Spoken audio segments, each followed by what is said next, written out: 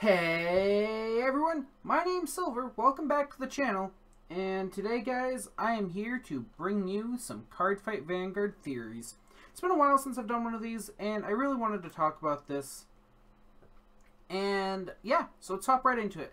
So guys, with the Era of G coming over really soon, I mean, it, it's right around the corner, it's time to start thinking of what the next show will entail.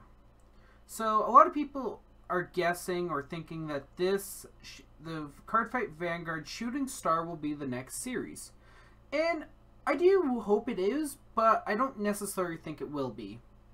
I have several reasons for that. One, it's a, I mean, the manga's pretty good, but I, but um, some people bring up good points, whereas the show's targeted towards younger males from ages 10 to 14. It will Bushiroad's business strategy will probably entail another male protagonist. But what does that do for the what does that do?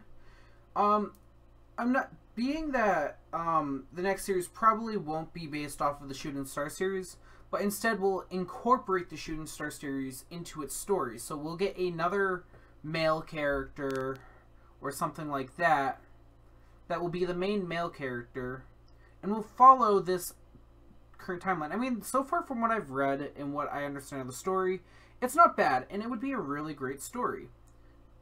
But past that, there's not a lot it has going for it. We've introduced a new clan,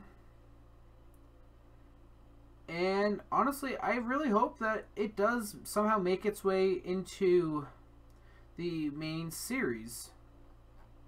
So let's let's talk about the characters. So the only two characters we really have, the main character and the main antagonist, we start off with Asuka Matsumoto. I can't read at all. But, um, yeah. So she uses the deck called Unionverse, which we just recently got its name for. And we don't know too many of the units. We know a handful of grade 3s. Um, and I think AG unit and triggers. But it, it's thus far a pretty it looks like a pretty strong anime. Um honestly i'm hoping that it does really well.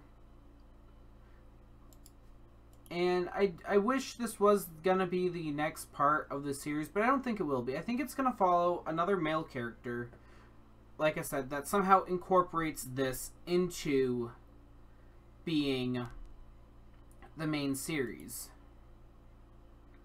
um, we don't have too much either. I think there's a total of three chapters released in Japanese and one fan chapter that was, uh, or not fan chapter, but a fan subtitled chapter. So, don't really know how that will work. We'll find out on March 14th when Bushiroad does their uh, little episode where they're going to talk about the next movement. Um, we also know her father we don't know much about her father. Up oh, and see, there's actually nothing here. We know nothing about her father. Um, but let's move on to the antagonist. The number one tyrant, as he's as I know him as. Um, so he uses. If we look at his deck, he uses a handful of what I um of Nova or Spike Brothers, sorry. And he has a card expecting rise this Rising Nova card, which we do have. So, like I said, I do see the main series being focused on this concept of 12 tyrants uh, of the crown. And that's sort of being the whole series focus point. I think it's going to be a G-heavy series with some sort of new um new mechanic. I don't know what that new mechanic will be just yet. I don't I don't know if Bushiroad has it entirely filled out. But I don't think it's to be this, guys. Honestly, there's just I don't know. I just I can't I don't think it works that well. I would love it. I would love to have a female protagonist. Honestly, I would. This she looks amazing and I would love her to be the main character for the series. But we have to think from a business strategy. will she sell the game? Will she sell merchandise? And I honestly don't have that answer. I'm not going to say yes or no because I would buy merchandise for her. Um, past that, we also have this, which is Star Road, another Vanguard, which might be what the series is, being that there's, to my knowledge, no. Oh, it might have. There's no actual comic. Um, I really don't know, but we have six new clans coming in or not new clans, but new themes. So there's a lot here that can be really talked about. And I really just don't know where to take this video from here. I just wanted to state that I don't think she's going to be the next series. I don't think her story is the next story. At best, we'll get it as a side story. Or we'll get it like Legion series. Where she is... Or it's a strictly a subtitled show. But past that, we won't get anything really like that. We'll get another story, which would I would be okay with if we only had this in sub. I mean, that's all I watch anyways. But yeah. So my thoughts are is or what I'm hoping for for the next series is that we get a female lead. I would honestly love this story to be the main story because it'd be amazing. But just in case, I'm going to share some thoughts. I would, at very least, I'd like her to be a side character, one of the main characters that follows, I guess, if it had to be another male character around.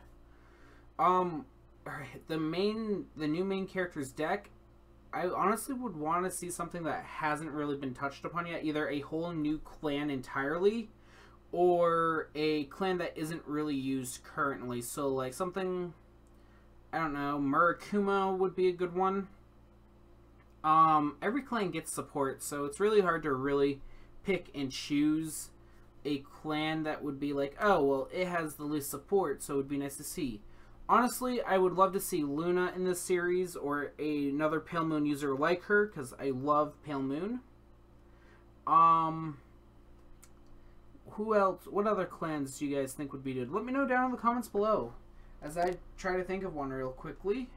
Um, I know there's a whole bunch out there, and there's a lot of clans that people love that have no support.